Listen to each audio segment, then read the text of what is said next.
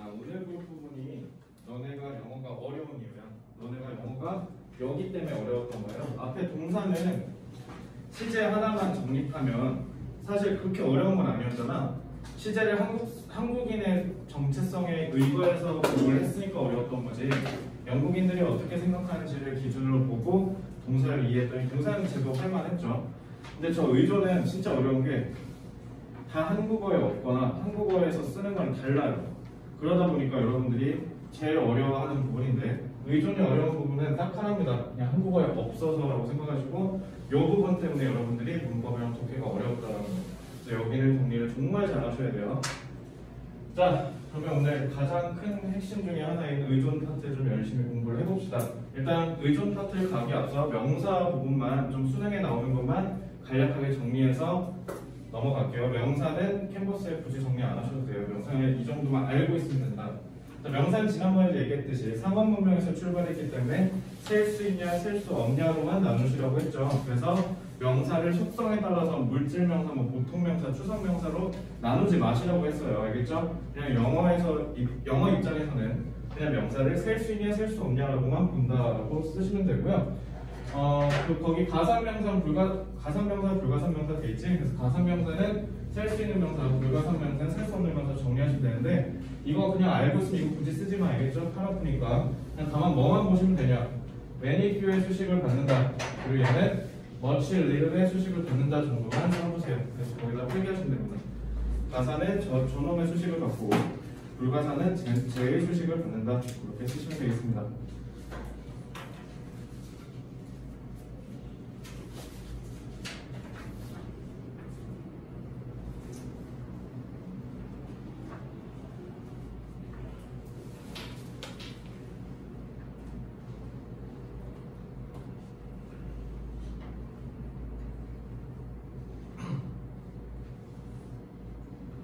자, 그래서 수능에 나오는 수준은 딱 이거야.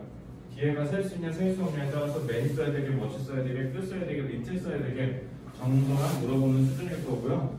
그리고 셀 수 있냐, 셀 수 없냐에 따라서 얘네 뜻은 그냥 같아. 단지 그냥 뭐만이야? 셀 수 있냐, 셀 수 없냐에 따라서 그냥 부분만 된 거예요, 형태만. 그래서 뜻은 같다라고 보시면 되고요. 그리고 지난번에 얘기했죠. 그러니까 결론은 명사는 뭐냐면 단수냐 복수냐 셀 수 있냐 셀 수 없냐의 개념이기 때문에 수의 일치만 시험에 나옵니다. 아시겠죠? 수만 잘 맞추면 되는데 당연히 셀 수 없는 건 어떻게 해야 돼요? 셀 수 있게 해야 장사를 할 거 아닙니까? 그죠?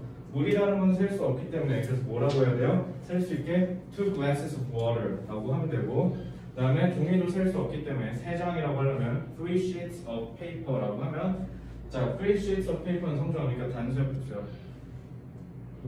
당연히 복수겠죠? 그러면 이제 뒤에 맨 끝에 가서 is, are 막 이런다고 이렇게 장난 쳐놓을 거예요. 그러면 are이라고 하시면 되겠죠? 그래서 그 정도의 시험 문제로 나온다. 그래서 불가사는 가사만 한다면 그 밑에 살짝 써놓으시면 됩니다. 그래서 여러분들은 결국 명사는 셀 수 있냐 셀 수 없냐를 기준으로 단수, 복수, 수일치만 잘 하시면 된다. 이게 사실 명사 끝입니다. 자, 명사는 이렇게 간단하게 끝낼 수 있는데 그 다음에는 한국 한국 문법 공부에서는 관사를 굉장히 소홀히하는 경우가 많은데 사실 관사와 명사에서 제일 핵심입니다. 관사는 왜 중요하냐면요. 일단은 필기도 끝나시면 넘어갈게요. 자 다음 다음 관사. 관사가 사실 영어에만 있는 게 아니라 프랑스어에도 있고 스페인어에도 있고 이탈리아어에도 있어요. 그러니까 유럽 언어라는 관사가 다 있는데 영어가 조금 독특한 게 뭐냐면 영어는 관사가 두 개예요. 그것도 부정관사, 정관사.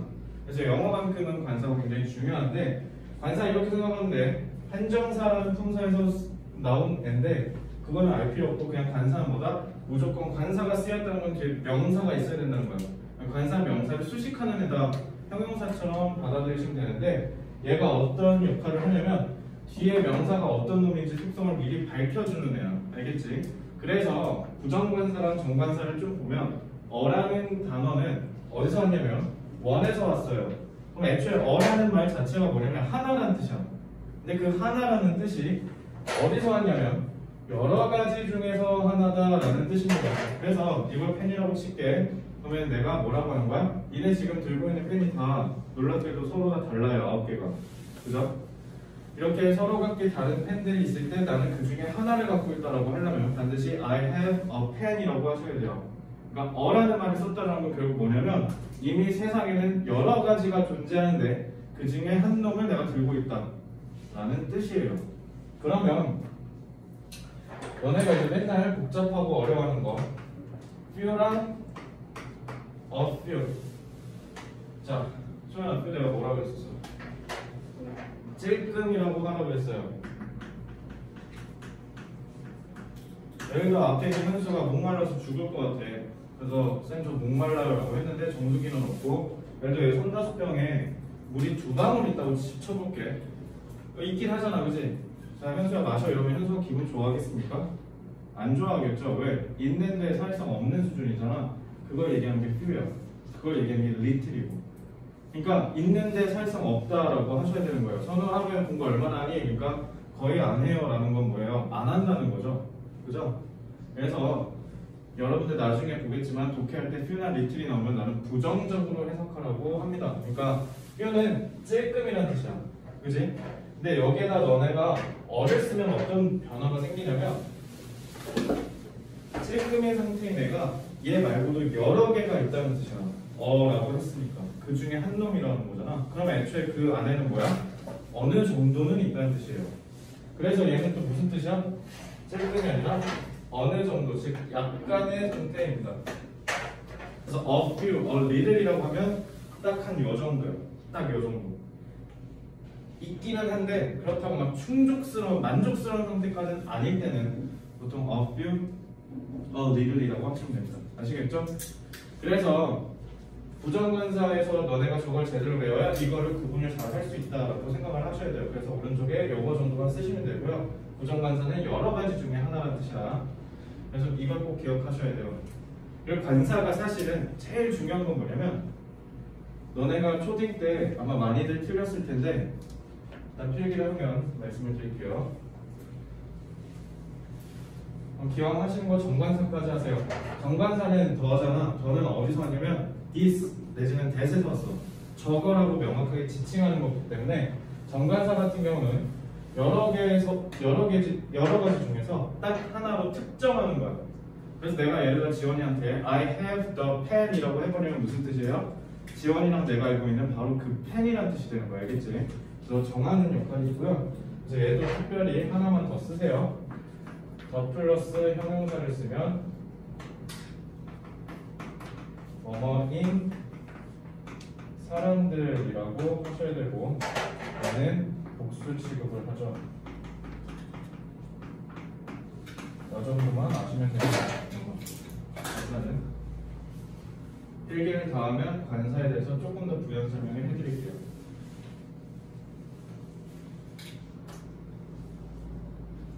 자, 뷰만 얘기했는데 리틀도 마찬가지인 거 알지? 리틀이랑 원리를 너 똑같이 찔끔 약간이라고 하시면 돼요. 아시겠죠? 자,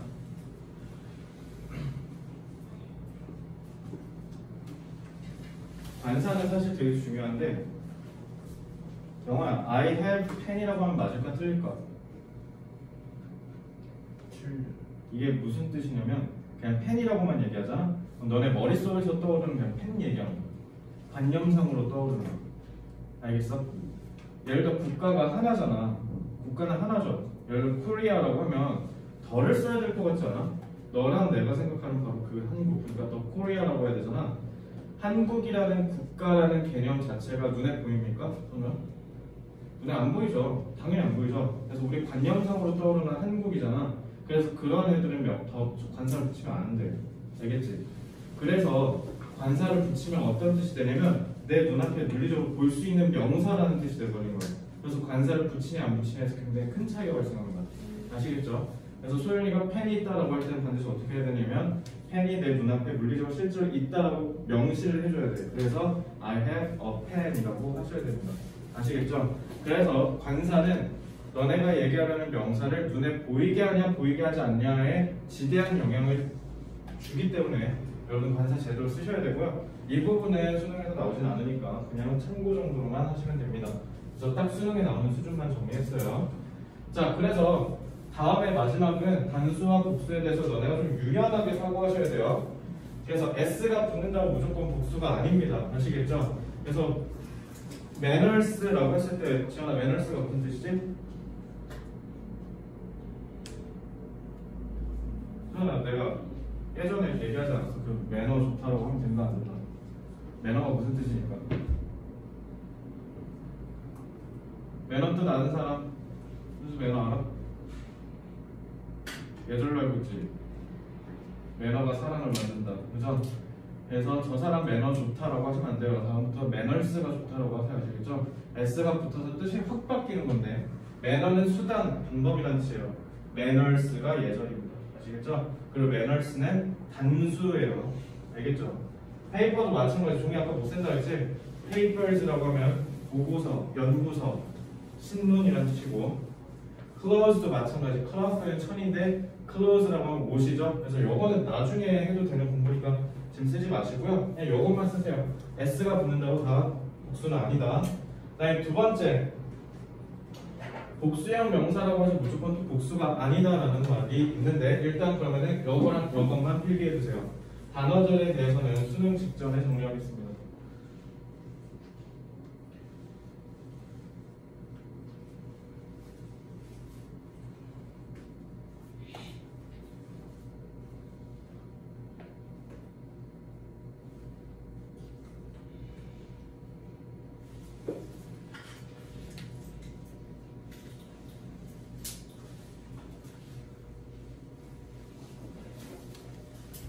영화 people 무슨 뜻이야? 사람들 그러니까 이렇게 하면 되죠. People are welcome.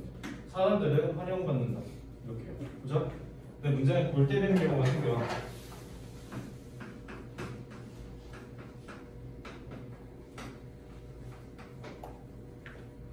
이러면 이제 눈 돌아가죠. 심지어 people에다가 S를 붙이는 미친놈들도 생겨요. 그럼 잘못 쓴 거네? 라고 하시면 안 돼요. people은 여기서 또 무슨 뜻이냐면 민족이라는 뜻이에요. 그러니까 이렇게 우리 한민족이잖아. 우리 같은 민족이잖아. 그지? 다른 민족 계세요 혹시? 그죠? 그럼 다 같은 거죠? 우린 다 같은 한민족이잖아. 그지? 이렇게 다 똑같은 사람을 이렇게 뭉뚱그려서 하나로 처리를 하면 people은 그냥 단수가 되는 거예요. 그래서 한민족이라고. 알겠죠? 그래서 하나의 민족이 환영받는다. 이런 뜻이 되기 때문에 너네가 명사를 조금 더 유연하게 보셔야 돼요. S 붙는다고 무조건 복수, 복수형 명사라고 해서 무조건 복수 이렇게 하시면 안 돼요. 아시겠죠? 그래서 요거 정도만 기억하시고 해당되는 단어들은 나중에 꼭 정리를 해드릴게요. 지금은 안 해도 되는 부분이니까 넘어갑시다. 자, 그래서 명사 좀 정리해드리면요. 명사가 영어가 애초에 그냥 한국어처럼 이렇게 하나의 언어로 이렇게 출발한 언어가 생각보다 많지는 않아. 특히 유럽 언어, 유럽에 있는 언어들은 지들끼리 얽히고 설키면서 막 복잡하게 발전했거든요. 거기서 영어가 끝판왕입니다. 막 프랑스어도 들어가고 막 바이킹 언어도 들어가고 막 난리 브루스를 쳐. 그래서 명사가 제각각이야. 다 박살났어. 체계가. 그래서 어려운 거예요. 그래서 명사는 그럼 니네가 이제 두려워할 수 있거든. 와 그럼 다 외워야 되나? 그건 대학생 때 가셔서 외우시고요. 지금은 그냥 너네가 뭐만 꼭 기억하면 되냐면 그냥 상황과 문맥에 맞춰서만 그때그때 해석할 수 있기만 하시면 돼요. 어차피 고등학생 수준이기 때문에 거기까지 물어보진 않습니다.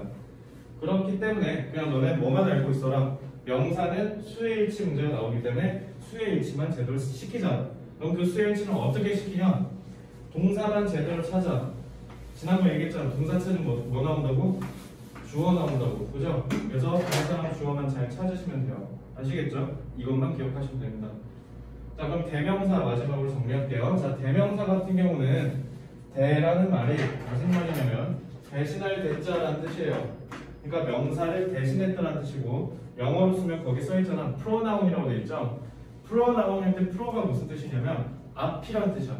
그래서 앞에 있는 명사예요 라는 뜻이거든요. 그 말은 뭐냐면 대명사를 너네가 문제로 풀 때는 그냥 뭐만 하면 되냐면 앞에서 가리키는 애만 찾으시면 됩니다.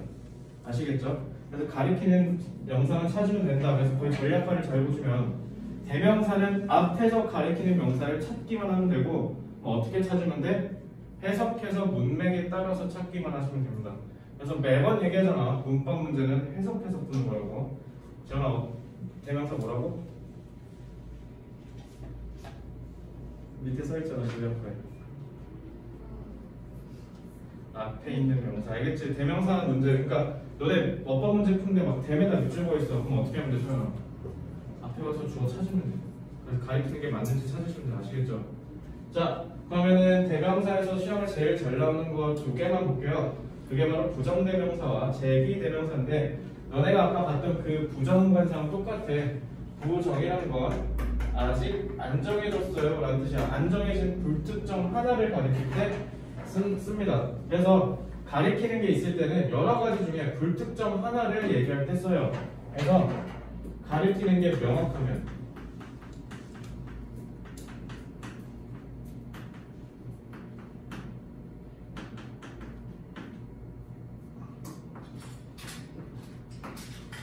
근데 만약에 만약에 가리키는 게 없을 때 그냥 난데없이 원을 쓰잖아. 그럼 이거 그냥 뭐냐면 그냥 보통 뜻이야. 그래서 너네 그냥 어떻게 되냐? 원 나오면 그냥 사람은 이라고 해석하시면 돼요. 아시겠죠? 그래서 가리키는 게 없이 갑자기 난데없이 원을 쓰면 너네 어떻게 하시면 되냐면 그냥 인간은 일반적인 사람은 이렇게 얘기하시면 돼요. 아시겠죠? 그래서 요거 정도만 보시면 됩니다. 독해할 때 겁나 많이 나와요, 요거. 그래서 여기까지만 필기하시면 됩니다. 그래서 부정대명사는 이 두 개만 쓰시고요. 아 여기 여기 여기 써놨으니까 불특정 사람을 가리킬 때는 사람이라고 해석하시면 됩니다.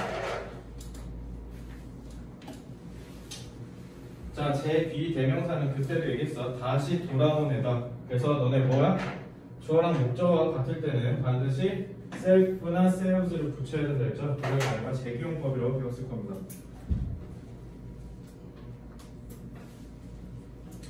그래서 요거 세 개만 딱 거기에다 쓰시면 돼요.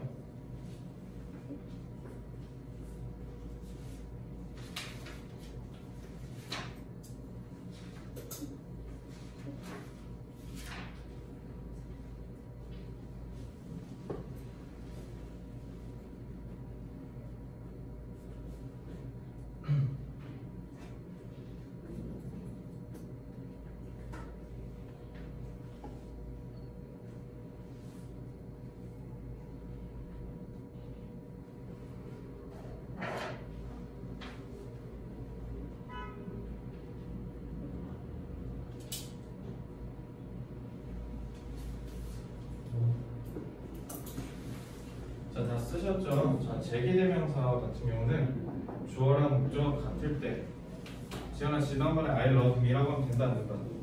뭐라고 해봐 지현아 뭐라고 하라? I love myself라고 하면서 알겠지? 주어랑 목적어 같을 때는 반드시 구분을 해줘야 돼요 아시겠죠? 근데 그렇게 목적어 자리가 아닌데도 제기대명사를 쓸 때가 있어 예를 들면 이런 거죠 소연이가 나중에 예를 들어 남자친구가 생겼다 그래서 빼빼로데이가 됐을 때 빼빼로를 직접 만들어 줬다 치자 그럼 소연아 그냥 무미건적으로 I made it 이러고 줄 거야? 그- 그럴 거야? 자 뭐라고 해야 돼? I made it myself 이거 내가 내가 만든 거야 내가 할 때 쓰는 거죠 그러니까 강조라고 너네가 항상 문법에서 뭔가 강조라고 배우면요 요 놈은 없어도 된다는 뜻이에요 아시겠죠? 그래서 이럴 때 쓸 때는 그냥 생생낼 때라고 생각하시면 됩니다 이러면 대명사 끝 여기 외에서 수능은 안 물어봐요. 이것만 딱 알고 있으면 됩니다. 여기 지금 전략 한번 해볼게. 선의 명상 그냥 뭐만 나온다 시험에? 이거 수의 지역 알겠죠? 야, 지현아 대명사 그냥 무조건 뭐 하라고? 대명사 나왔어. 그러면 무조건 뭐 하라고? 앞에 명사 찾으라고요. 자 오늘 오늘 뭔가 잘 안 따라오는 기분인데 자 좀만 집중해 오늘까지만 하면 이제 진짜 개념 공부 없어 계속 실전 연습만 할 거니까 오늘까지만 좀 참으세요 자 그래서 방금 얘기했듯이 명사는 수일치를 조심해 그러니까 동사랑 주어만 잘 찾으면 된다 라고 얘기를 했던 거고 대명사는 앞에서 가리키는 놈 찾자 라고만 전략화하시면 됩니다. 그리고 찾을 때는 해석을 해서 찾으면 된다 라고 얘기를 했고요. 자, 그 다음에 이제 드디어 의존입니다. 성준아, 의존이란 말이 뭐야? 의존적이다. 아? 어. 어, 누구랑 같이 있어야 되는데, 그죠?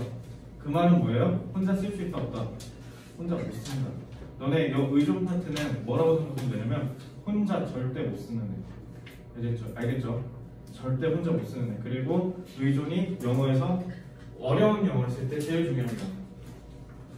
그럼 너네 그냥 뭐만 기억하면 되냐면 그럼 대체 혼자 못 읽는다는 건데 누구랑 같이 있어야 되는지 알면 돼. 알겠죠? 그냥 이런 거죠. 그래서 전치사 하면 뭐야? 전치사 하면 명사예요. 알겠죠? 그러니까 전치사는 명사 없으면 쓸 수 있다 없다? 없다. 이거 겁니다. 오늘. 알겠죠? 자, 그러면 일단 제일 쉬운 것부터 한 번씩 차근차근 볼게. 형용사랑 부사요. 형용사랑 부사는 진짜 개념이 별거 없는데 의외로 너네 시험 문제를 어법 문제를 나오면 맨날 틀려. 왜냐면 한국 사람이 생각하는 형용사랑 영국 사람이 생각하는 형용사가 좀 달라요. 그래서 그런 건데 일단은 그냥 되게 간- 단순하게 공부합시다. 되게 단순하게. 자, 형용사랑 부사는 좀 대립적으로 생각하시면 돼요. 형용사는 명사를 수식하는 거고 부사는 이게 뭐 절, 구, 문장 전체 어쩌고 다른 부사 막 이렇게 배웠잖아. 그냥 다 갖다 버리고 누구 꾸며준다라고만 하시면 되냐면 동사 꾸며준다라고 생각하시면 돼요. 아시겠죠? 그래서 둘 다 수식어입니다. 그래서 혼자 못 쓴다고요. 그래서 형용사 같은 경우는 형용, 형용사 있고 그 다음에 명사가 이렇게 뒤에 나오죠. 그리고 부사 같은 경우는 동사가 나오고 부사가 뒤에 나옵니다. 이런 식으로 보통 어순을 구성을 하는데 자 그래서 너네 보통 형용사에다 LR 붙이면 부사라고 하잖아. 근데 명사에다가 LR 붙이면 현재 뭐가 돼? 아무 약수가 대답해 보세요. 뭐가 됩니까? 중립 때 했던 거죠. 명사에다 LR 붙이면 뭐야? 형용사 그죠? 그것만 좀 알고 계시면 돼요. 자 명사에다 LR 붙이면 형용사 된다. 그것만 좀 기억하시고요.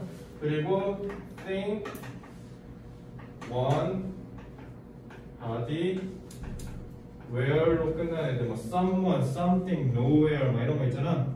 이런 거 올 때는 형용사가 뒤에 옵니다. 그거를 우리는 뭐라고 해요? 뒤에서 꾸며준다 해서 후치 수식이라고 합니다. 이것까지만 알면 수능 수준에서는 더 이상 물어보지 않습니다.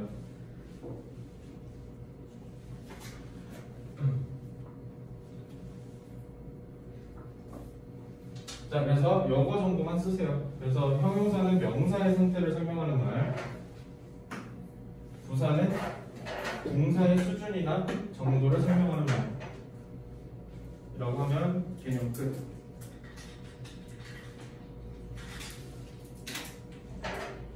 저는 보통 의존이라고 하면 누구랑 같이 있어야 된다는 거잖아. 그럼 저는 그 같이 있는 대상을 누구라고 항상 얘기해 주냐면 보통 친구라고 표현을 해줘요. 알겠죠? 그러면은 소연아 명사는 누구 친구? 아 형용사는 누구 친구? 아, 답을 얘기해 버렸네. 자 부사는 누구 친구 선우야? 그러니까 이렇게 하면 돼. 명, 그 형용사 대체 지금 누구를 꾸며주고 있는 거야? 명사를 꾸며주고 있고 형용사 자리면 형용사라고 하시면 돼요. 알겠죠? 이런 식으로 친구가 누군지만 알고 계시면 됩니다. 지현아 부사 누구 친구라고? 어, 이렇게만 알고 있어. 알겠지? 그냥 끝이야 이러면. 끝. 자, 그러면 대망의 너네가 제일 미친 듯이 어려워하는 관계사로 왔습니다. 영화야, 관계대명사 뭐야?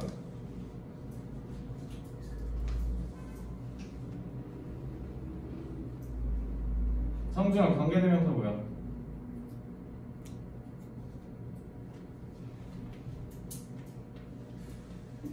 지연아, 관계대명사 뭐야? 선행사 수식이야. 오케이. 자, 그러면은 관계 부사는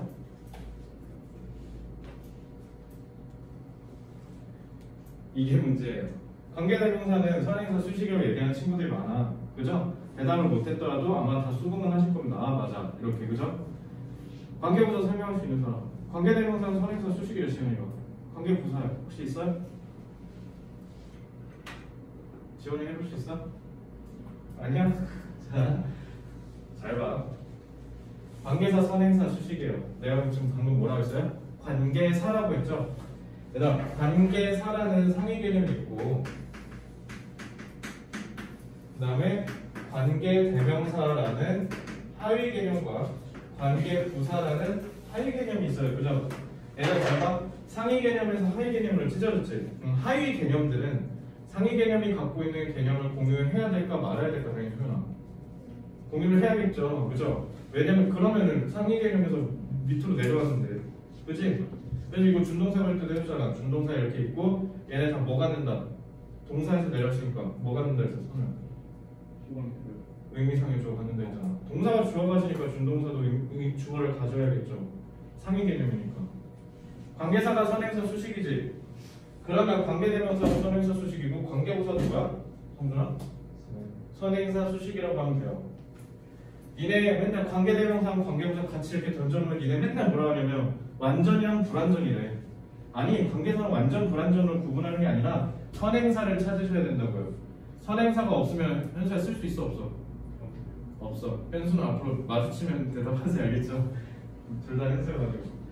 자 없겠죠. 이, 이게 제일 중요한 거야.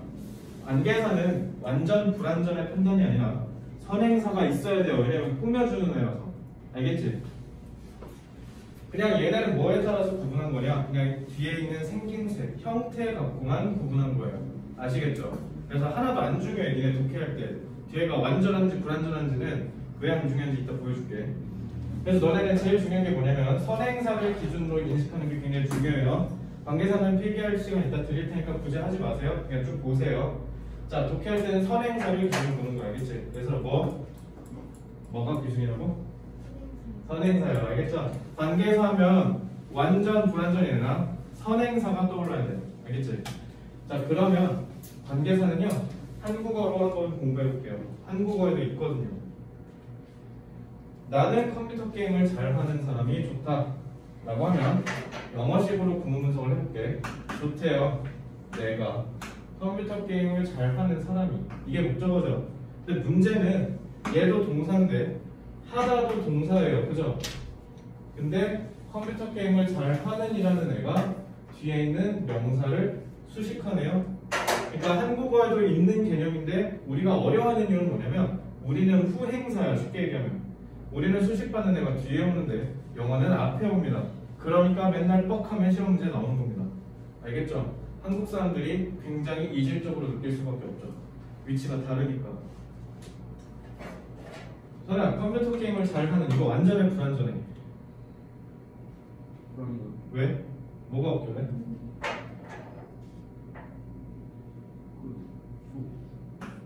후가 없어? 이거 한국어인데? 여기에 빠졌죠? 불완전하네? 니네 그래서 실제로 얽매하신 분이요 저거 수능에 나와요 한국어에도 있잖아 저거 저걸 우리나라 말은 뭐라고 하면 뭐라고 하면 관형절이라고 합니다 알겠죠? 자 그러면 사람이라는 말이 왜 없어? 당연히 수식받는 애가 여기에서 사람 역할을 하는 거잖아 근데 그걸 뭐하러 구태여 얘기하냐고 없어도 되는데 그지? 그럼 이것도 우리나라 말로 우리나라 말을 영어로 가져간 거예요? 주격 관계대명사겠네 그죠? 이게 불완전 완전 판단이야 알겠지? 이것도 마찬가지. 나는 영어를 잘하는 사람이 필요하다. 영어를 잘하는 일뭐 하고 있어요? 뒤에 있는 사람이라는 명사 꾸며주죠. 한국어에도 있는 개념입니다. 근데 다만 뭡니까? 차이점이 수식을 받는 명사의 위치가 다르다. 그래서 다시 한번 예설 뭐가 중요하다고 관계사는 선행사 알겠지? 그래서 영어로는 antecedent, ante가 이게 앞이란 뜻이야. ante 알겠지? 그래서 앞에 있는 말 거를 선행사라고 합니다. 자 그러면 관, 관계대명사를 좀 더 본격적으로 배워볼게요. 관계대명사 너네 사실 중학생 때 조금 어렵게 배운 게 막 이런 식으로 표로 배웠지. 막 that으로 막 배우고 which, whose, who, 막 이런 식으로 테이블로 돼 있는 걸로 배웠을 거야. 그냥 갖다 버리고요. 원래 맨 처음에 관계대명사는요 대세에서 출발했어요. 지안아 that이 무슨 뜻이야? 어 저거 저거 좀 갖다 줘 라고 할 때 쓰죠. 가까우면은 this라고 하고요. 멀면 that이라고 하죠. 그지? 대는 적어예요. 그래서 그걸 뭐라고 합니까 우리? 가리킬 때 쓰는 대명사 지시 대명사예요. 그래서 that is my car. 제 저거 내 차야 라고 할 수도 있고요. 아니면 지시 형용사로도 쓸 수 있죠. That car. 저 차는 is mine. 내 거예요. 이런 식으로. 그지? 그래서 지시 대명사랑 지시 형용사로 씁니다. 그래서 저거 내지는 저것의 저것은 이렇게 알겠지? 그래서 거기에서 확장해서 접속사 that을 만든 거고요. 거기에 확장해서 관계대명사 that을 만든 거예요. 그냥 대시 저거라고 가리키는 그 관념, 직관을 끌고 와서 관계사라는 걸 하나 만든 거야. 알겠지? 그래서 접속사로 쓰인 대승경 뭐라고 하면 돼요? 겉이라고 해석하시면 되고요. 관계사로 쓰이면 미은으로 끝내시면 돼요. 아까 한국어처럼. 됐죠?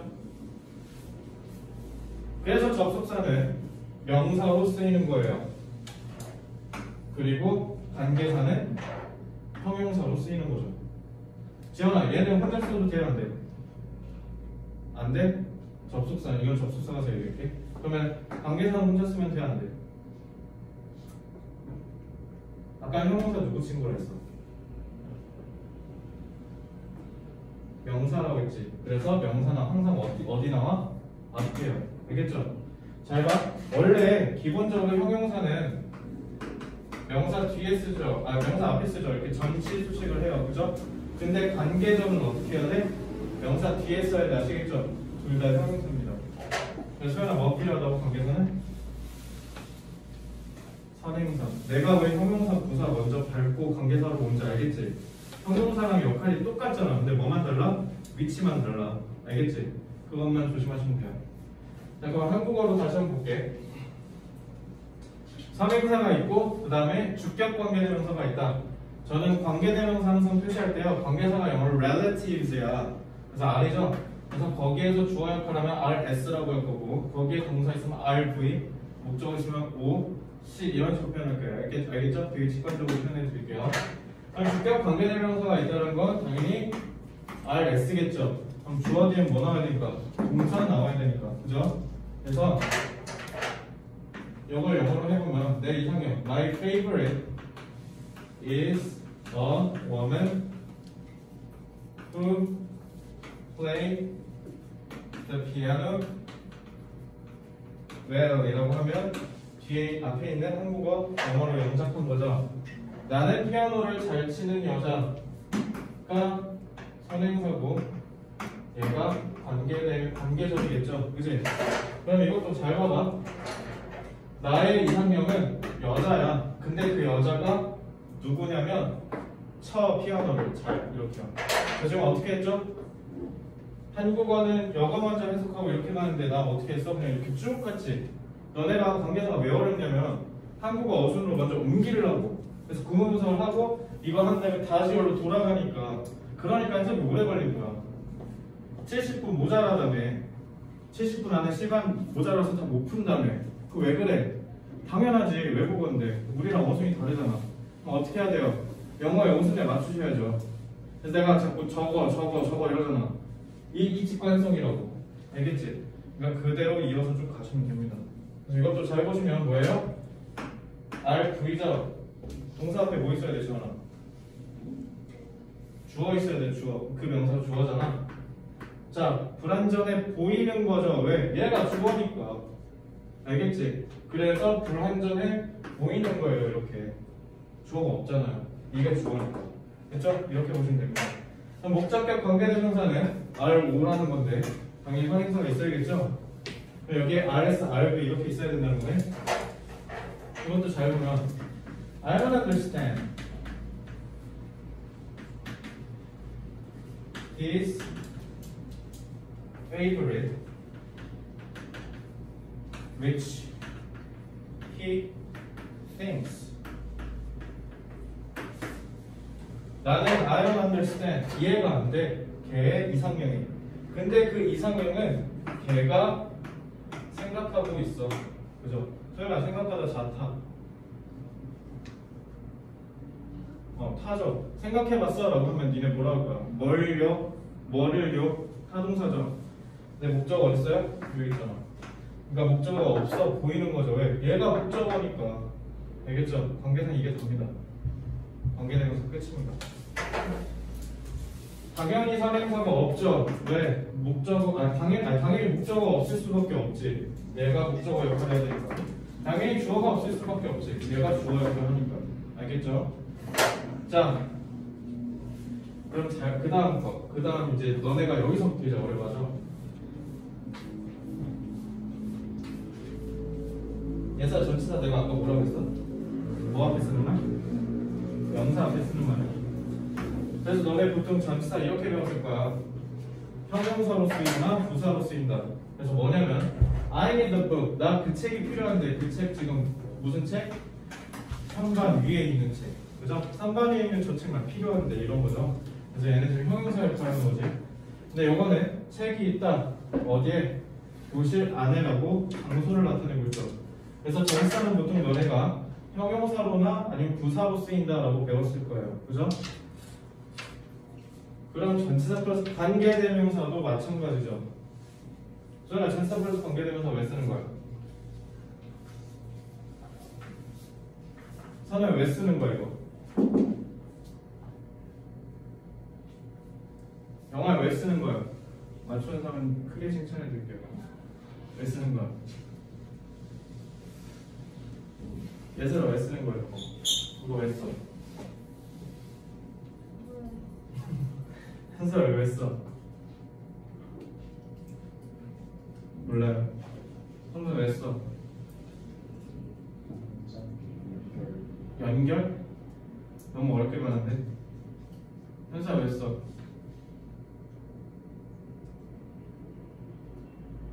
지현아 왜 써? 동사 이유 뭐라고? 동사 이유 명사를 이어? 선행사. 아니 내가 얘기했잖아 아까 관계사 수련한 관계사 뭐라고? 전치사 관계 부사도 뭐라고? 그럼 전치사 플러스 관계대명사도 뭐라고? 선행사 선행사 꾸며주려 쓰는 거야 얘들아. 제발 편견을 깨라니까. 왜 자꾸 뒤에가 뭐 완전이네 뭐 명사 연결 하지 말라고. 못하잖아 그러니까. 전치사 플러스 관계대명사 왜 쓴 거야 현수가 지금 얘기한 대로. 선행사 수식이라고. 알겠지? 그냥 형태만 달라서 그렇게 쓰는 거야. 근데 뒤에서 무슨 역할 하니까? 전치사 썼으니까 뭐야? 형용사 역할 하거나 아니면 부사 역할 하겠죠. 느낌 오지? 부사 역할 할때 그럼 뭐로 바꾸면 돼? 관계 부사로 바꾸면 되겠네. 라는 생각이 들죠. 관계 부사는요 전치사 플러스 관계대명사 형태가 발전하는 거야. 더 축약해가지고. 아 나 그 책 알아. 근데 그 책 이름이 킹덤이야. 이거 뭐 읽는다고 하잖아 그지? I know the book of which name is kingdom. 이렇게 쓰죠. 지금 얘 지금 뭐합니까? 요 명사 수식하죠. 그 책의 이름이 킹덤이다 이렇게. 형용사 역할이네. 그지? 자 그리고 I know the class. 아나 그 교실 알아. 아, 근데 그 교실에서 그냥 지금 공부 중이야. 이렇게. 그럼 뭐라고 해? I know the classroom in which she is studying. 거기서 지금 공부 중이다. 이것도 어떻게 하라고? 영어의 어순대로 가라고. 지안아 이니 무슨 뜻이야? 아니잖아 나는 그 교실 알아 근데 그 교실 안에서 이렇게 하라니까 그녀는 공부 중이야 이렇게 하면 어순대로 가잖아요 그럼 어떻게 해요? 빨리 읽고 넘어갈 수 있잖아 한국어로 굳이 여기 다시 또 정리하고 이렇게 갈 필요가 없잖아 그지? 자 그럼 얘는 지금 무슨 역할에? 부사 역할 안에 장소 나타내니까 그지? 그래서 전치사 플러스 관계대명사는 뒤에 관계절을 내서 형용사 역할을 하거나 부사 역할을 할 겁니다 자 그러면은 얘네는 왜 관계절의 구조가 완전하다고 하는 거야? 형용사 아까 누구라고 했어? 누구 친구야? 성준아. 동사 얘네 있어도 있어야 돼? 없어도 돼? 없어도 되지. I have a baby라고 해도 의미 통하죠. I have a cute baby라고 하면. 아니 큐트 아니면 부연 설명하는 거잖아. 그지 형용사랑 부사는 그저 부연 설명하는 거예요. 그냥 문장을 구성하는 데 있어서 불필요할 수도 있다는 거죠. 그러면 쟤네가 없어도 되네 그러니까 니들이 맨날 완전하다고 하는 거야. 알겠어? 그래서 완전하다고 하는 겁니다. 얘네는 의존적 존재니까. 없어도 되니까요. 알겠죠? 자 저거라는 개념에서 됐었잖아. 그거 끌고서 관계대명사 만들었지? 그러고 나서 얘네는 사람은 후로 쓰고 사물은 위치로 쓰자라고 생긴 거야. 그래서 원래 맨 처음에 that, which, who 이렇게 같이 쓰기로 한 게 아니라 that으로 쓰다가 which 생기고 그 다음에 who 생긴 거예요 알겠죠? 그러면 여기에서 지나지 않고 원어민들이 이렇게 또 생각한 거야 야 이것도 쓸 수 있지 않을까? 라는 생각을 한 거죠 그래서 저걸로 전치사 플러스 관계대명사의 표현에 축약하기 시작합니다 줄이기 시작했다고요 자, 아, 아까 그 문장이죠. I know the book of which name is kingdom. 그래서 이렇게 썼던 거를 지금 어떻게 이렇게 한 단어로 줄였죠. 이게 바로 뭡니까? 소유격 관계대명사죠. 소유격 관계대명사는 그래서 뭐야? 원래 이렇게 쓰던 게 축약돼서 발전된 표현이에요. 알겠죠? 그 다음에 이것도 마찬가지예요. 어, 나 걔 알아. 근데 걔 아들 다 의사잖아. 그거를 이렇게 줄일 수 있다고요. 두 개로 찢지 않고 이렇게 바로 쓸 수 있다고. 소유격 관계대명사는 축약돼서 발전된 표현입니다. 자, 다음도 너네가 제일 많이 틀리는 게 이거지. 관계대명사 what이야. 관계대명사 what 잘 보면 I remember the thing. 어, 나 그거 기억나. I bring the thing. 나 그거 가져와. I remember the thing. 이거 연결해서 이렇게 해서 쓸 수 있죠. 나 내가 가져올 거 기억해 이 얘기예요. 알겠죠? 근데 이렇게 쓰면 어떻게? 너무 길잖아. 이걸 어떻게 한 거야? 이렇게 끝. 알겠죠? 관계대명사가 또뭐 때문에 생긴 거야? 발전하는 거야. 알겠지? 그럼 관계부사도 뭐겠어? 그것도 발전하는 거야. 아까 거 또 볼게. I know the classroom in which 교실 안에서라며. 그럼 교실 아니라는 장소네. 그걸 어떻게 바꾼 거야? where로 줄인 거야. I know the day on which we first met. 우리가 처음 만났던 그 날이네, 시간이네. 그럼 그것도 어떻게 줄일 수 있어? when으로 줄일 수 있다고요. 다 발전하는 거라고. 그래서 다 뭐 있어야 된다? 다 필요 없다고. 그냥 뭐만 있으면 된다? 선행사. 근데 관계부상 가끔 없을 때 있어. 왜 그러냐면 이거 선행사지. 이거 관계 부사고 그죠? 근데 이거 굳이 없어도 되잖아. 그냥 왜냐고 해도 되잖아, 그지? 그래서 생략할 때가 많아요. 뭐 할 때? 뻔할 때. 그냥 이렇게 뻔한 얘기할 때. 근데 예를 들어 이- 어 요거는 지우면 안 되죠. 왜? 지워버리면 교실이라는 속성이 사라지잖아. 그지? 얘가 엑스강에 있는지 지 집에 있는지 어떻게 합니까? 그죠? 이렇게 특정 지어서 얘기해 줘야 될 때는 생략을 당연히 안 하는 게 상식적이겠죠? 자 그럼 마지막 너네가 관계사를 제일 어려워하는 세 번째 포인트는 완전 불안정은 어떻게 판단하냐라는 거예요. 저는 어떻게 판단할까? 완전 불안정 가르쳐 줬었는데.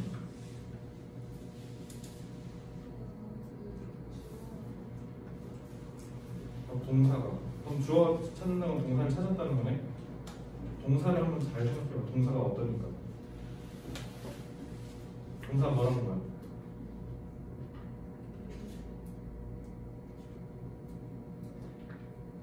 자동사, 타동사. 알겠지? 얘들아, 완전 불안전 각 한- 판단하는 거 되게 쉬워. 동사를 찾았다는 거 아까 지원이가 주, 주어 얘기했잖아. 동사를 찾았다는 건 뭐야? 꼬봉이 주어 당연히 있다는 거지. 근데 주어가 없네? 그럼 니네 그냥 뭐 하면 돼요? 주격이구나 라고 하면 돼요. 주격은 그러니까 쉽겠죠? 근데 이제 목적격이 문제야. 그래서 니네 목적격이 시험에 자주 나와. 동사를 잡았어. 근데 동사가 예를 들어 자동사야. 그럼 지원아 목적이 있으면 되는데. 그럼 거기서 끝나는 거야. 이렇게 판단하시면 돼요. 근데 타동사인데 목적어가 없네? 그럼 뭐 하면 돼? 불안전하다고 하면 돼요. 알겠죠? 진짜 한번 문제를 풀어볼게. 이거 2년 전 EBS 기출이에요. 고3 애들 풀어봤는데 절, 절반 반타적한 문제들입니다. 한번 풀어볼게. 배운 거 그대로. 자, 현수연 뒤에, 뒤에 있는 현- 조현수 씨는 웬 이게 뭡니까? 방금 배운 거대로 생각하면 이거는 관계 부사죠. 그러면 이건 뭐야? 현수 관계 대명사지. 그럼 시체말로 완전 불안정 판단하면 되는 거 아니야? 그지? 근데 성주야 관계 관계잖아 둘 다 뭐 있어야 돼? 선행사. 선행사는 이렇게 있어요. 얘는 굳이 선행사 갖고 장, 어, 선행사가 있냐 없냐는 사실 의미가 없죠. 왜? 애초에 둘 다 관계사기 때문에 선행사는 당연히 있어야 되는 거야. 됐지? 그럼 얘를 꾸며주는 관계사니까 한번 출발해 볼게요. 근데 다행히 대의가 있단 말이지. 그럼 이거 뭐야? 주어잖아. also have a, also have 동사네? 전화 have 자타. 어 다 같다니까 당연히 타동사겠지. 그러니까 뒤에 뭐가 있어야 돼? 목적 있어야 되는데 노션이 개념이라는 뜻이죠. 명사죠. 목적어네. 현재 다 있어 없어? 관계 대명사가 들어가면 명사 자리라는 거잖아. 명사 자리 들어갈 때 있어 없어? 없지. 그럼 관계대명사 쓰면 돼안 되지 탈락. 그래서 이거 다 뭐예요? 이렇게 푸는 거. 됐죠? 이렇게 푸는 겁니다. 자, 그럼 이것도 볼까? 이번에 한번 여러분 한 15초씩 한번 응시하면서 한번 풀어보세요. 저게 맞는지 틀린지 한번 봐봐.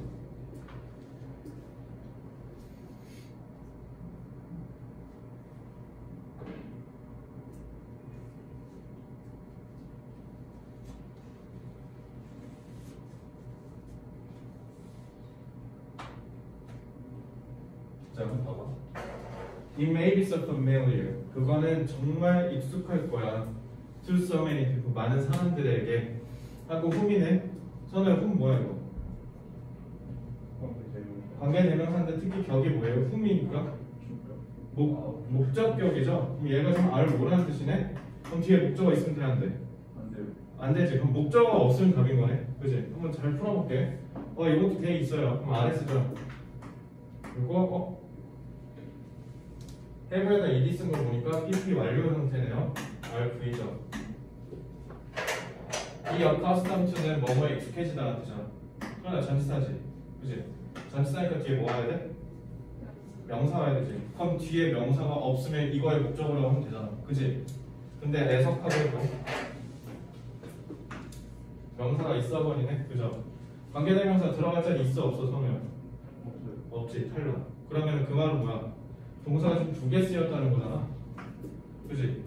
그때 쓰는 게 뭐야? 동사 두 개일 때 쓰는 게 접속사. 일단 배우겠지만. 그래서 이거 대시라고 합니다. 이렇게 풀면 되죠. 근데 저는 이런 풀이법 선호하지 않습니다. 왜 이렇게 바보같이 풉니까?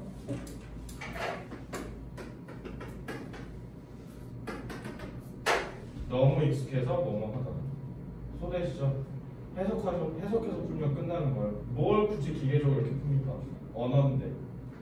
너네 결국 뭐냐면 이내가 왜 문법 문제를 자주 틀리고 이내가 왜 해석을 못하게 되는 거냐면 문법을 저는 도구로서만 생각해서 그래요. 문법은 언어를 정확하게 이해시켜 주는데 가장 중요한 역할을 하는 거예요. 알겠죠? 그러니까 결론은 너네가 문법을 못 쓰니까 영어는 독해를 못하는 거고 문법을 못 쓰니까 문법 문제를 틀리는 거예요. 맨날. 알겠지? 그래서 저는 해석해서 푸는 거라고 늘 강조합니다. 자 이제 필기하자. 자 거기 관계대명사라고 돼 있어요. 1번에 관계대명사에 되어 있는 부분에 이렇게 필기를 하시면 되는데 자 선행사를 수식한다는 말이 반드시 들어가야 돼. 선행사를 수식하면서 관계절 내에서 대명사 역할을 한다. 그래서 그게 당연히 대명사 역할을 하기 때문에 불완전해 보이는 거고 그 중에서는 주격 관계대명사랑 목적격 관계대명사가 있다. 다만 목적격 관계대명사 같은 경우는 생략을 자주 한다는 것까지 알아두시면 관계사는 끝입니다. 자, 필기하세요.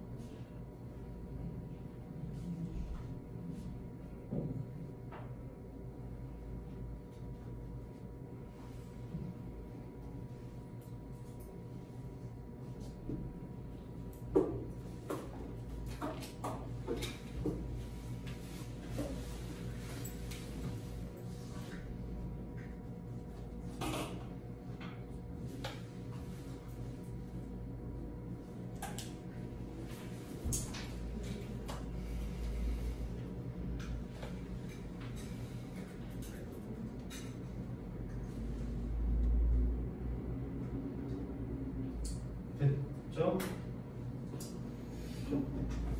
어. 자, 전치사 플러스 관계대명사는 뒤에서 무슨 역할을 한다고? 관계절 내에서 형용사 역할을 하고요. 그다음에 부사 역할을 하고. 잠깐 여기 잠깐 나좀 봐봐. 자, 자동사의 목적어라는 건 내가 전, 지난번에도 얘기했지. 타동사이려면 어떻게 해야 된다? 자동사는 전치사를 끌고 와야 된다고 그랬죠? 어, 그럴 때. 자동사의 목적어일 때까지 정리하시면 되겠습니다. 이거 세 개 쓰세요. 전치사 플러스 관계대명사에서.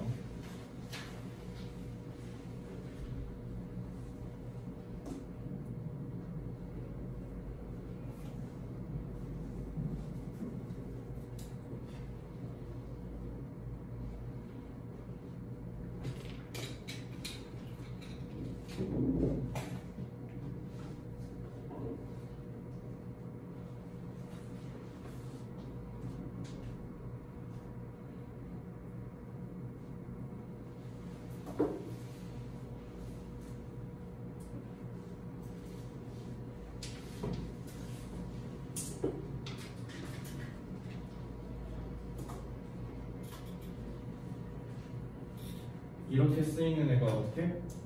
축약돼서 발전된 게 관계 부사라고 했죠. 그죠? 자, 그럼 관계 부사는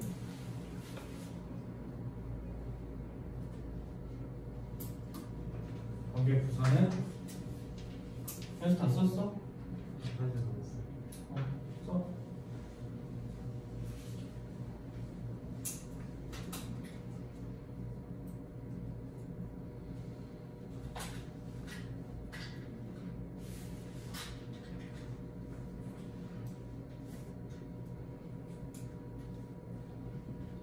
관계 부사는 전치사 플러스 관계대명사의 표현이 어떻게 된 거야? 축약된 거다. 그래서 그 네 개가 when, where, why, how예요. 자, 관계절 내에서 당연히 부사 역할이니까 당연히 완전해 보이겠죠. 선행사는 뻔하면 생략하는 경우가 많고요. 하나만 조심하시면 how 하나만 how 하나만 선행사랑 관계부사 같이 먹습니다. 아시겠죠?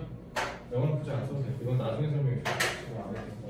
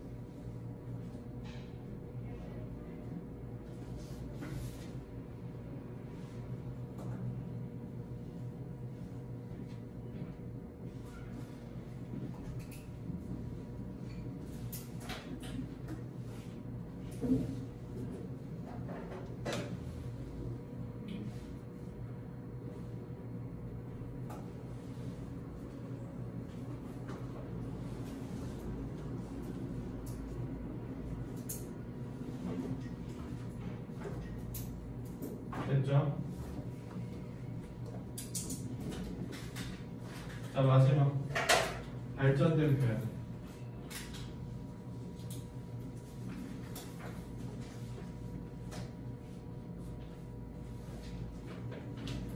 필기 꼼꼼하게 못한 것 같다 아니면 오늘 내용 제대로 못 하고 집에 가서 이거 다시 들으세요 자 발전은 관계사 표현이라는 건 두 개 있죠 소유격 관계대명사 이거 형용사 역할이라서 문장이 완전해. 이거 조심하셔야 돼요. 특히 형용사라서.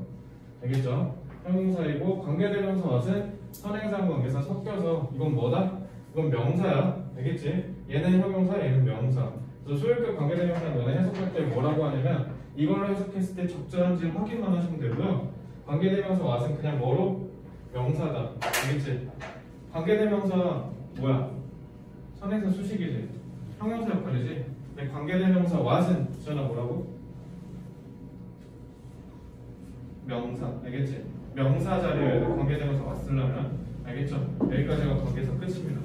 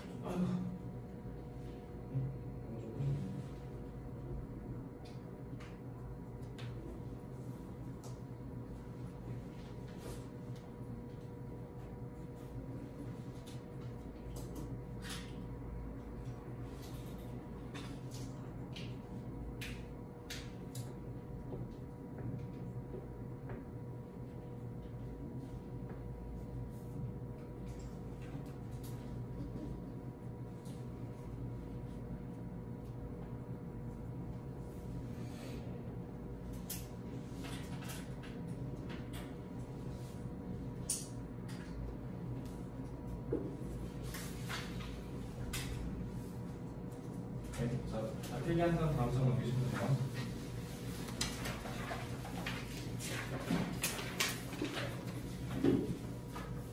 자, 오늘은 그냥 후딱 빨리 보고 빨리 끝내줄게. 피곤하죠? 그래서 쉬는 시간 없이 갔으니까 이따가 최대한 빨리 끝내드릴게요. 일단은 접속사 까자고 전치사의 기본적인 개념만 설명했고 내일 마치도록 하겠습니다. 재미, 재미없죠? 개념 설명이라서 나도 개념 설명은 이제 다음 주 이번 주 금요일이면 끝나니까 조금만 조금만 견뎌주세요. 자,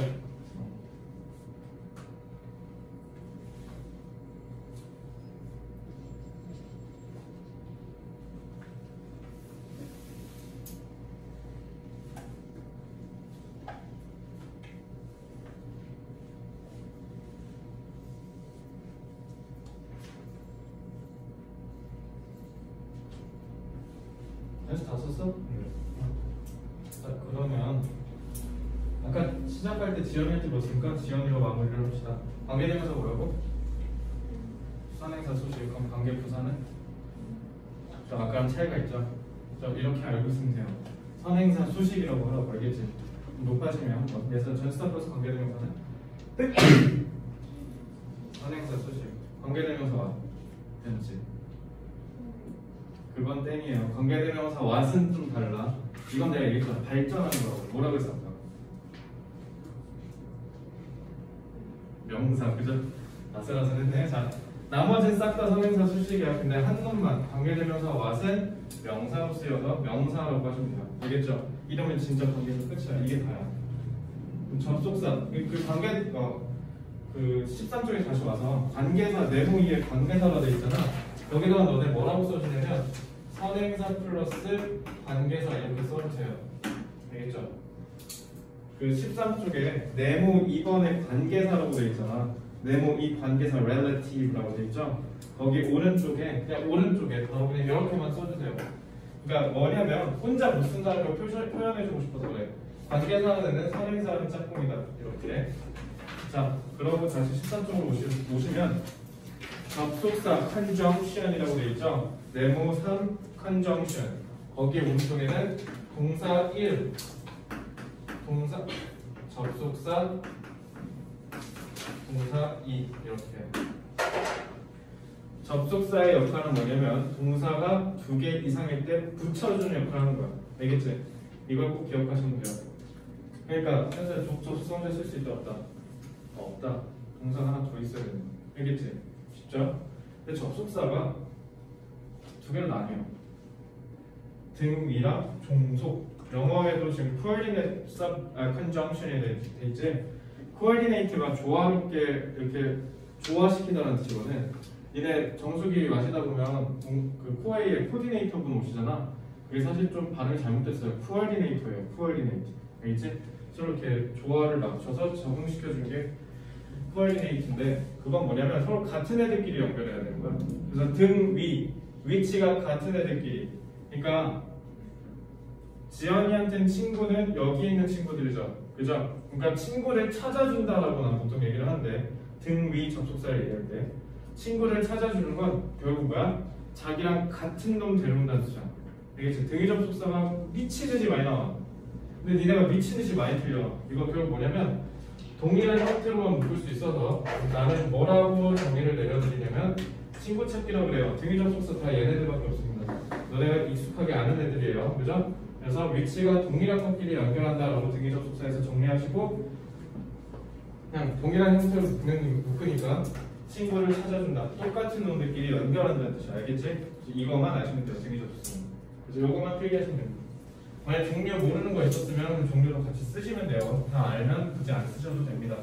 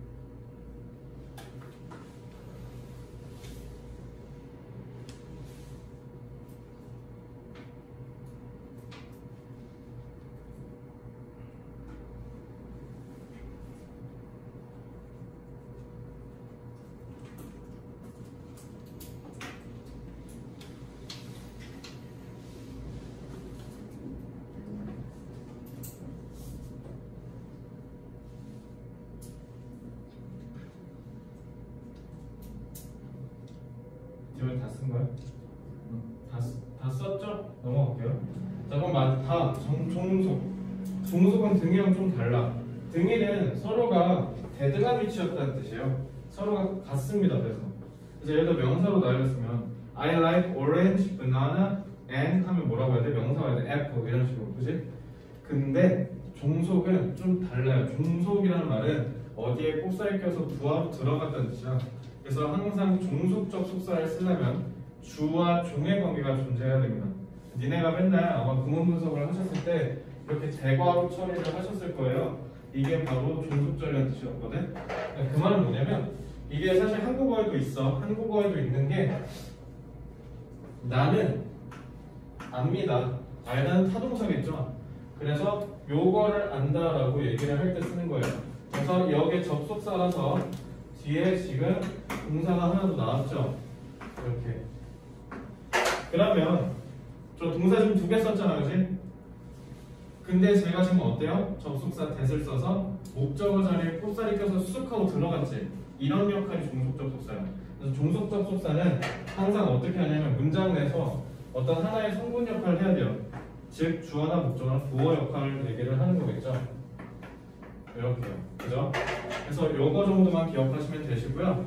요거를 우리나라 말에서는 뭐라고 하냐면 안긴 문장, 안겨서 끝 들어갔다. 그리고 얘가 흠업돼서 아는 문장이라고 합니다.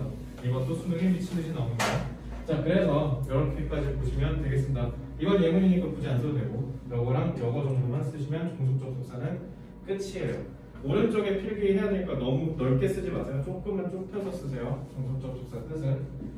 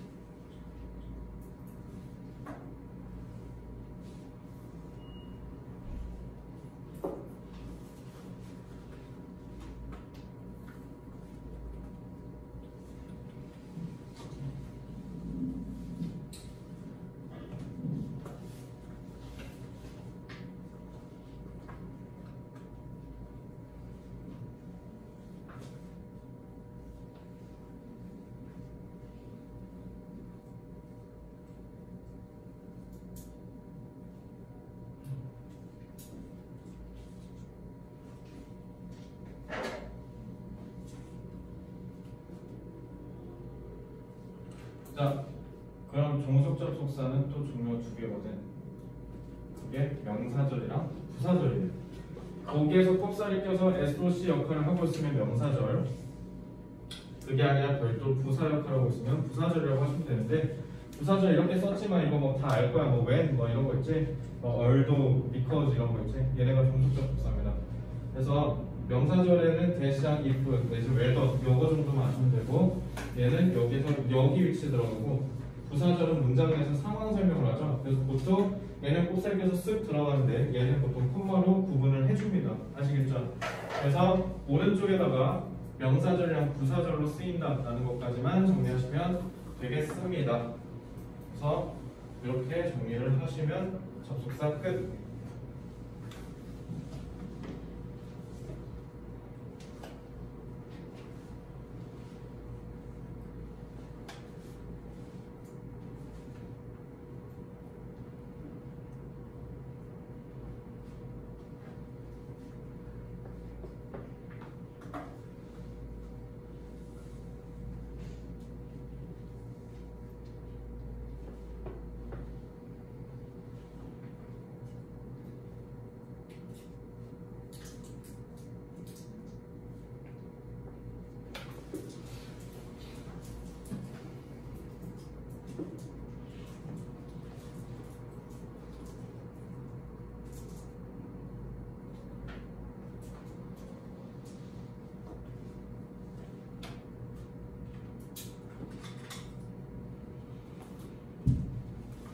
다음 파. 자 오늘 필기 끝이에요. 하나만 딱 한마디만 더 쓰는 거예요. 자 여기까지 이제 접속사 끝. 이제 마지막 의존이 전치사인데요. 전치사는 음, 너네가 아마 되게 처음 들어 들을 만한 얘기를 다 금요일에 할 텐데 전치사에 대한 개념만 조금 간략하게 설명하고 오늘 수업 마칠게요. 알겠죠? 그래서 금요일 날 전치사 그다음 오른쪽에 보이시는 축약이란 도, 도치 구문만 정리하고 다음 장에서 캔버스 훈련하면 문법 강의는 끝입니다. 그래서 총 3강에 걸쳐서 드디어 끝내게 됐고 아마 금요일에는 한 30분 정도 설명하면 드디어 끝나겠죠. 딱 아마 한 3시간 반 정도 썼어요. 지금 문법 설명하는데. 근데 이 3시간 반 동안 이제 정리하신 문법을 토대로 이제 그 다음에 전략과 부분에서 문장 연습을 미친 듯이 할 거라는 거 알겠죠? 그래서 어, 여기에서 여러분들이 개념에 대해서 충분히 완숙이 된 상태여야 되기 때문에 숙제를 미리 말씀드리면 오늘까지 배운 부분은 다 복습 한 번씩 읽어 오시면 되고요. 어, 이 개념 뭐였지 싶으면은 강의 들으시면 돼요. 아마 오늘 새벽 안에는 업로드 될 겁니다. 알겠죠? 그래서 그렇게 들으시면 되고 자 그럼 전치사 한번 정리할게요. 전치사를 아까도 얘기했지 명사 앞에 쓰는 거라고 맞아요. 전치라는 말 자체가 뭐냐면 앞전자에 둘치자예요. 아, 이거 이렇게 썼나? 아, 치, 치자를 까먹었다. 그래서 둘치자, 그러니까 앞에 두는 말, 뭐 앞에 두는 말? 명사 앞에 두는 말이라는 뜻이죠. 알겠지? 그래서 영어로는 preposition, 앞에 위치시키다 라는 뜻입니다. 근데 전치사를 무조건 너네가 이렇게 생각하고 계시면 안 돼. 전치사가 나오면 뒤에 당연히 명사가 나올 거 아니야. 이렇게만 생각하시면 안 돼요. 전치사는 반드시 얘도 마찬가지로 선행사가 있어야 돼요. 그러니까 명사가 반드시 앞에 있어야 돼요. 예를 들면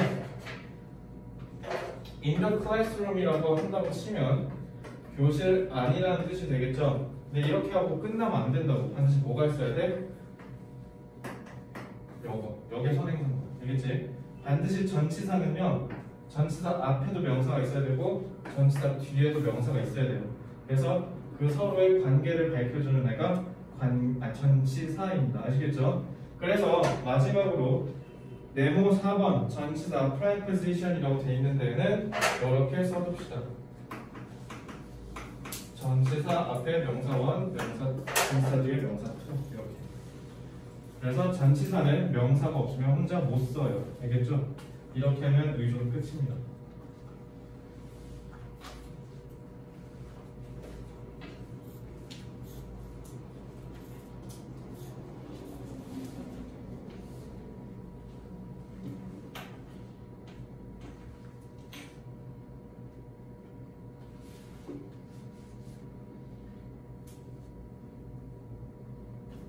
자, 이것만 쓰시면 돼요. 자, 다 쓰셨죠? 자, 인터넷 강의로 듣는 사람은 만약에 의존 파트에 대해서 고도화 훈련, 전력화 훈련 강의를 듣고 있다면 반드시 다음 강의까지 들어야 완강이 되는 거니까 다음 강의 꼭 강의 듣기 바랍니다. 자, 여러분들도 이제 다음 금요일 날 고도화 훈련 마칠게요. 자, 전치사는 다음에 배우고 일단 단어는 16부터 20 외우시면 되고 그 오늘 혹시나 딕테이션 안 한 몇 친구 있죠? 반드시 해오시기를 바라고 금요일 날 해설 아니 토요일 날 해석 그 해설할 거니까 시드 꼭 가져오셔야 돼요. 아시겠죠? 그리고 의존 부분이랑 그 다음에 동사 부분 여기 고도화 훈련 내용 복습해 오시길 바랍니다. 아시겠죠? 자 고생 많았습니다.